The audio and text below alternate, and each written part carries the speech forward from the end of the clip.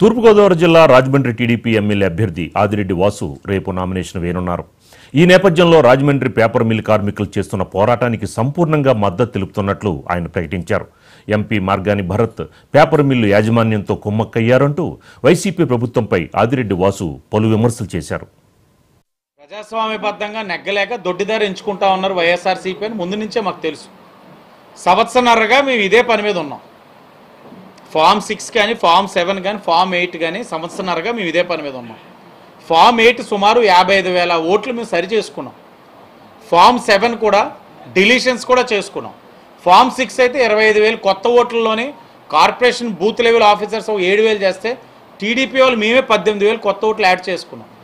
అవన్నీ మేము అప్రమత్తంగా ఉన్నామని తెలిసి ఇక్కడైతే మాత్రం ఆటలు సాగినవల రాజనగరంలో జరగడానికి కొన్ని కారణాలు ఉన్నాయి. ఒకటి వెంకటేష్ గారి నుంచి బొడ్డు వెంకటరామ చౌదరి గారి దగ్గర రావడం మరలా ఆయన ఎమ్మటినే జనసేనకి ఇవ్వడం వల్ల ఈ కమ్యూనికేషన్ గ్యాప్ అన్నది ఉండడం వల్ల ఈ గ్యాప్లో జరిగి ఉండొచ్చు.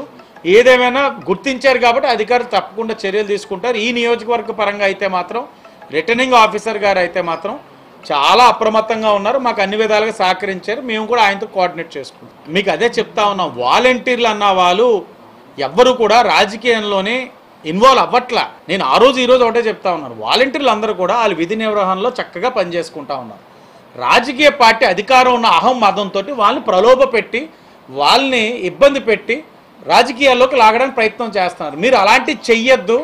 మీరు దూరంగా ఉండండి అనే చెప్పాం కానీ మీరు ఈ పార్టీ కండువ కప్పుకున్నారని ఏనాడు కూడా వాళ్ళు దూషించలేదు అలాగే ఇంకోటి కూడా చెప్తా ఉన్నాం. ఆ ఇరవై మూడు మంది ఎవరైతే ఆ రోజు సస్పెండ్ అయ్యి ఉన్నారో మరలా రిపీట్ చేస్తా ఉన్నాను. ఆ ఇరవై మూడు మందిలో ఉన్న వాళ్ళు అనుకోనే నాకు వీడియో ఇచ్చారు. భరతరాము వాళ్ళ కార్యకర్తలు ఇరవై మూడు వాలంటీర్లు ఉంటే వీడియో ఎక్కడి నుంచి వస్తాయి అయితే భరతరామ్ ఇవ్వాలి లేకపోతే వాళ్ళ కార్యకర్తలు ఇవ్వాలి లేకపోతే వాలంటీర్లు ఇవ్వాలి. నేను చెప్తున్నాను కదా వాలంటీర్లే ఇచ్చారు నాకు ఆ వీడియో. సార్ ఇది చాలా తప్పు. మీరు రావన్న బలవంతం పెట్టి భయభ్రాంతులు గురి చేసి మమ్మల్ని పిలుచుకున్నారు. కమిషనర్ గారికి ఇవ్వను. కమిషనర్ గారికి ఇచ్చిన తర్వాత అడిగినప్పుడు కూడా మాకు ఇంక నచ్చట్లేదు సార్ మేము చేయలేము సార్ అన్నారు. ఈ రోజున ఆ వ్యవస్థ మీద మాకు గౌరవం ఉంది. రేపు పదివేలు జీతంతో పాటు వాళ్ళకి ఉద్యోగ భద్రత కూడా కల్పించాలని చంద్రబాబు నాయుడు ఆలోచించారు. ఆన్ రికార్డ్ కూడా తెలియజేయడం జరిగింది.